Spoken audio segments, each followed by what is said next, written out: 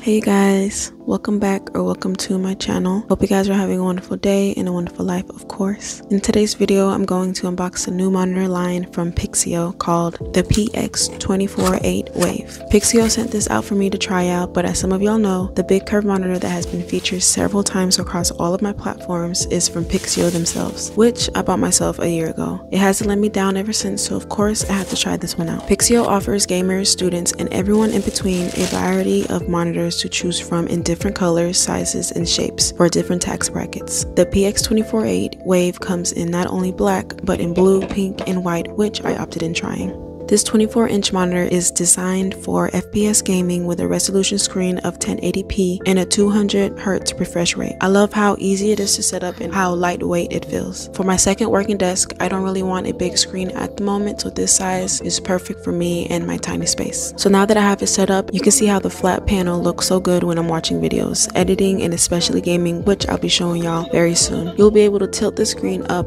and down, and it also comes with built-in speakers, but I always prefer to connect connect Bluetooth speakers to my PC. Due to the buttons under the panel, you can easily switch between your HDMI port or the display port and it also features a control panel to change up the display, audio, color, and so much more for a better experience.